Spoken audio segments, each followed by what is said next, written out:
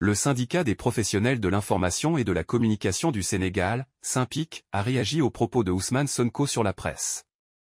Le chargé de communication du SYNPIC a déploré les menaces proférées par le leader de PASTEF à l'encontre des journalistes qui font leur travail. Il a souligné que les professionnels de l'information sont invités à faire leur travail tout en respectant les principes de ce métier, et qu'il n'appartient pas à M. Sonko de menacer des journalistes qui font leur travail. Il a également rappelé que les responsables de PASTEF étaient aux côtés du Saint-Pic lorsqu'ils étaient dans l'opposition, lors des manifestations pour défendre la liberté de la presse. Ces déclarations ont été faites par le chargé de communication du Saint-Pic, Maguette Ndong, et ont été rapportées par Presse Afrique.